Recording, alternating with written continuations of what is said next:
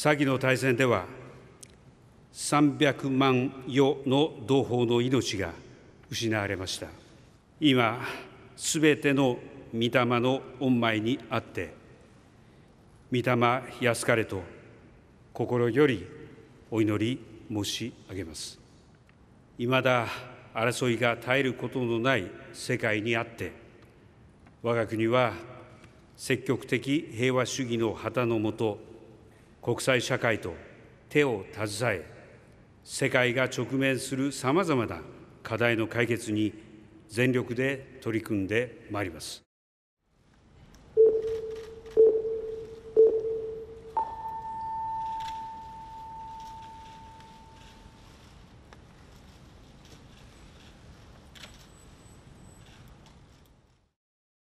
先の大戦においてかけがえのない命を失った。数多くの人々とその遺族を思い深い悲しみを新たにいたします。戦後の長きにわたる平和な歳月に思いをいたしつつ過去を顧み深い反省の上に立って再び戦争の惨禍が繰り返されぬことを切に願い先人に散り戦火に倒れた人々に対し全国民とともに心から追悼の意を表し世界の平和と我が国の一層の発展を祈ります。世界の情勢に目を向けてみますと依然として紛争が絶えることはなく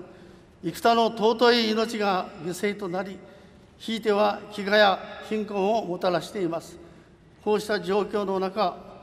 我が国が平和の実現に向けて果たすべき役割は決して小さくありません。そして私たち遺族は戦争の悲惨さと平和の尊さを孫ひ孫の世代へと永遠に語り継ぐことを永遠にお誓い申し上げます。各遺族代表殿